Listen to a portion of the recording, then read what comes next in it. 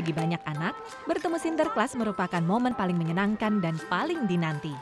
Menjelang Natal, orang membanjiri pertokoan seperti Fair Oaks Mall di Virginia Merry Christmas.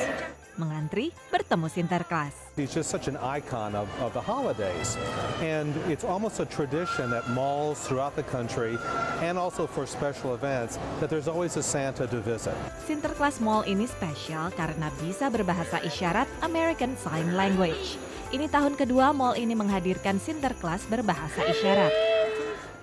Tak heran, Suzy dan kedua putrinya selalu datang menjelang Natal. Felicity tunarungu.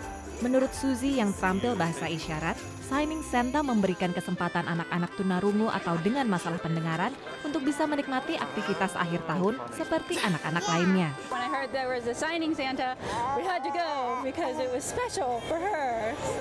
Kedua anak Nicole bisa mendengar, tapi ia sendiri tunarungu.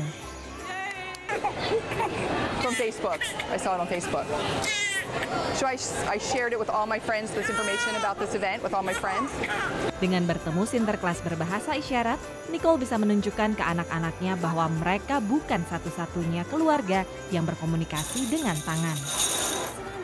Pemeran Sinterklas dan asistennya adalah suami istri pengajar anak-anak tunarungu atau dengan masalah pendengaran. The feedback has been tremendous this year, much more than last. The thing I think I love the most is that they can come and talk to Santa directly.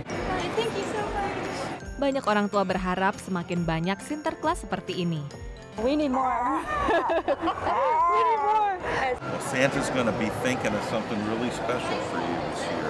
Dari Mall Fair Oaks, Fairfax, Virginia, tim VOA.